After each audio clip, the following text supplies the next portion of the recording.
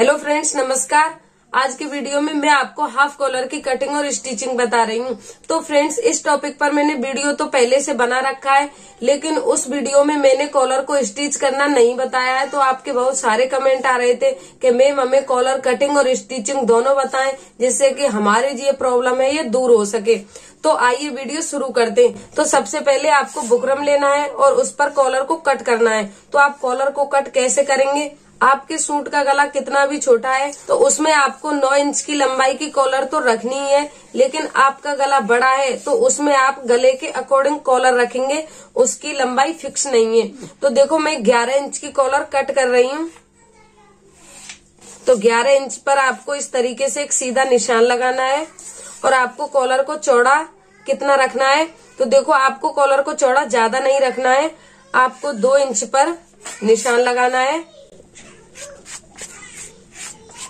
तो दो इंच पर आपको इस तरीके से निशान लगाना है और यहाँ से बुकरम को कट करना है। और यहाँ से भी कट कर देना है।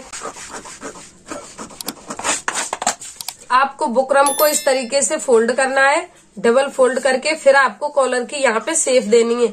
आप कॉलर को यहाँ से सीधा रखेंगे तो उसकी सेफ़ है वो अच्छी नहीं आएगी और दिखने में भी कॉलर है वो बहुत बेकार लगेगी। तो आपको कॉलर की सेफ़ गुलाई में देनी है।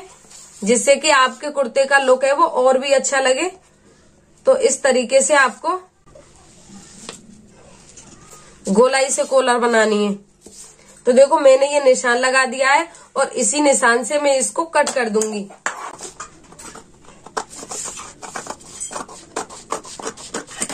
तो आपको कॉलर को कटिंग इस तरीके से करना है।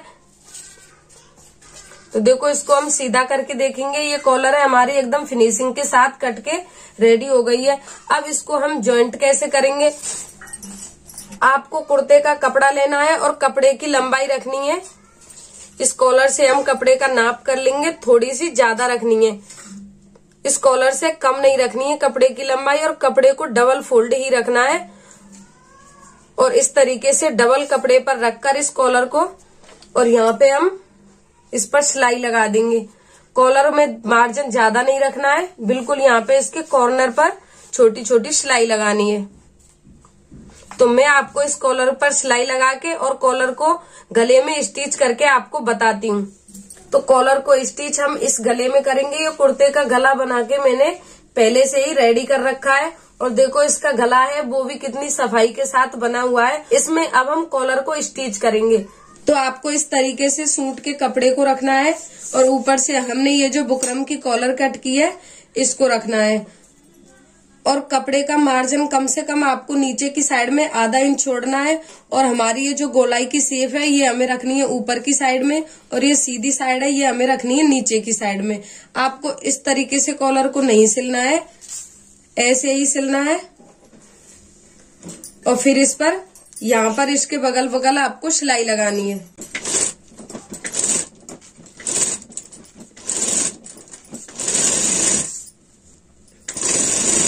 सिलाई को ज़्यादा बुकरम पर नहीं चढ़ाना है, बिल्कुल छोटी छोटी यहाँ पर सिलाई लगानी है।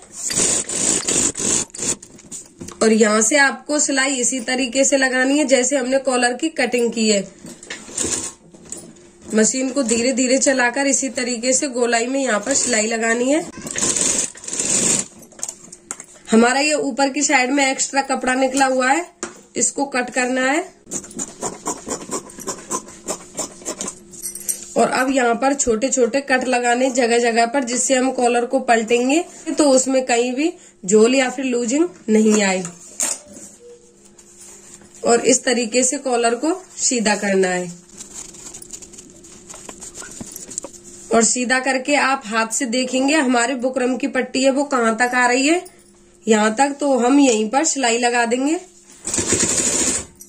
यहाँ से दोनों कपड़ों को बराबर रखना है। इस तरीके से कोई भी कपड़ा छोटा या बड़ा नहीं करना है। नहीं तो आपकी कॉलर है, वो दिखने में बहुत बेकार लगेगी।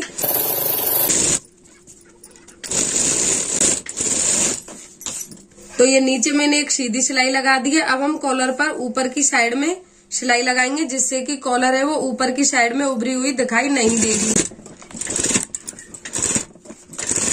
तो इस सिलाई को हम कॉलर में अच्छा लुक लाने के लिए लगाते हैं।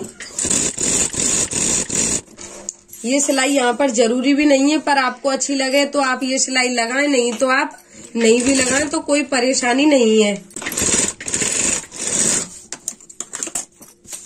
तो अब हम इस कॉलर को इस तरीके से डबल फोल्ड करेंगे और डबल फोल्ड करके यहाँ पर हम कट लगाएँगे और चौक से भी निशान लगा लेंगे, जिससे कि हम कॉलर कुर्ते में स्टिच करें तो कोई भी हिस्सा बड़ा या छोटा नहीं हो। और यहाँ पर भी हम छोटे छोटे कट लगा देंगे। तो अब मैं आपको इस गले में कॉलर को स्टिच करके बता रही हूँ। तो आपको बैक वाले पार्ट को इस तरीके से पकड़ना है शोल्डर से शोल्डर को मिलाना है और यहाँ पे इसका बीच सेंटर का नाप करना है। और चौक से निशान लगाना है, जहाँ पर भी हमारा बीच सेंटर आए उसका। और फिर कुर्ते को इस तरीके से रख लेना है। ये हमारी कॉलर का सेंटर है और ये यहाँ पे कुर्ते का सेंटर है बैक पार्ट का। और इसको इस तरीके से पकड़ना है और यहाँ से नापते हुए गले की तरफ़ जाना है। और यहाँ पे हमारी कॉलर है ये फिक्स आ रही है तो यहीं से हम सिलाई को चलाना स्टार्ट करेंगे। यहाँ से सिलाई को पहले आपको लॉक करना है, जिससे कि सिलाई हमारी निकले नहीं।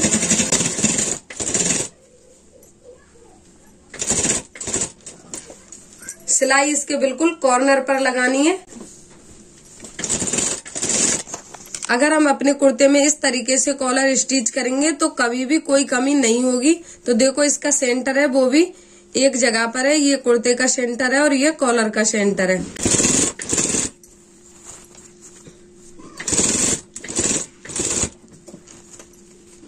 और आप सिलाई को यहाँ से ध्यान से चलाएँ। कहीं भी इस कपड़े में झोल या फिर लूजिंग नहीं आए। और यहाँ पे सिलाई को लॉक करना है।